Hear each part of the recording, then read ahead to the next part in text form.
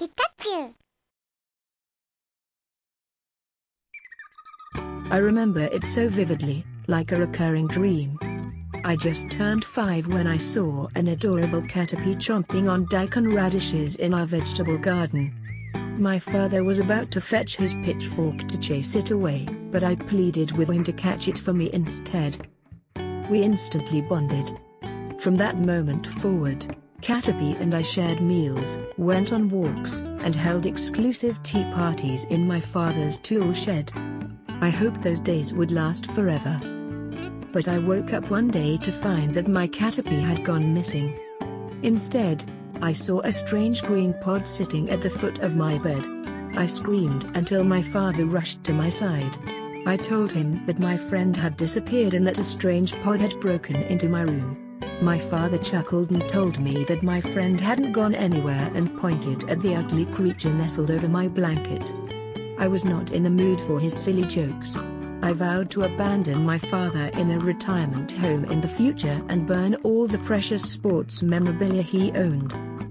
I put aside a few things and set out to search for my Caterpie.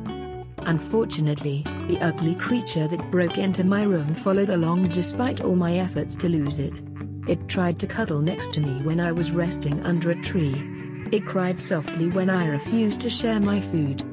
I picked up the creature and threw it across the forest, but it managed to find its way back by dragging its body across the harsh terrain. It made me angry, but my concerns over Caterpie trumped over my emotions. When I woke up the next morning, the weird green creature was gone. Instead, a large butterfly greeted me as if it knew me. I was immediately offended and shooed the creature away. The butterfly tried to embrace me as it fought back its own tears, but I shoved it away. I didn't understand why all these Pokemon were suddenly clinging on to me when I was busy searching for my friend. Eventually, I tossed my remaining food at it. While it happily ate my last remaining jelly donut, I tossed a Pokeball to capture it.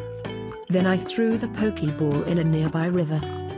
It's been 32 years since that day and I still have yet to find my Caterpie. I'm not sure what the life expectancy of a Caterpie is like, but I haven't given up hope.